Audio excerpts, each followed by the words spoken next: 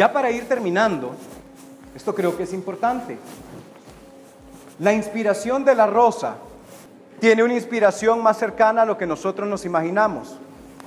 La mujer que está ahí, él es Antoine de Saint-Exupéry. La mujer que está ahí se llama Consuelo Sunsin. ¿Le suena? ¿Cuántos leyeron Tierra de Infancia? ¿Se acuerdan que habían tres mujeres?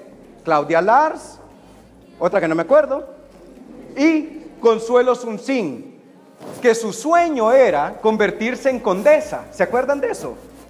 Y se le cumplió, porque ella se casó con el conde de Saint-Exupéry y se volvió la rosa de Antoine de Saint-Exupéry.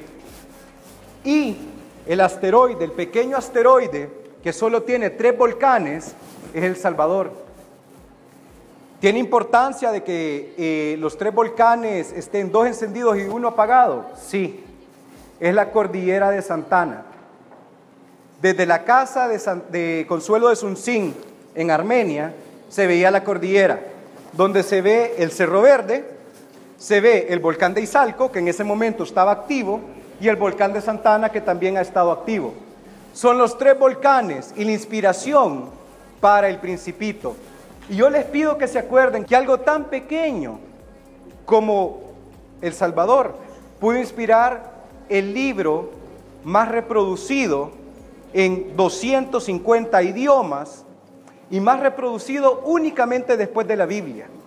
Eso es lo que ha inspirado nuestro paisito y se nos olvida.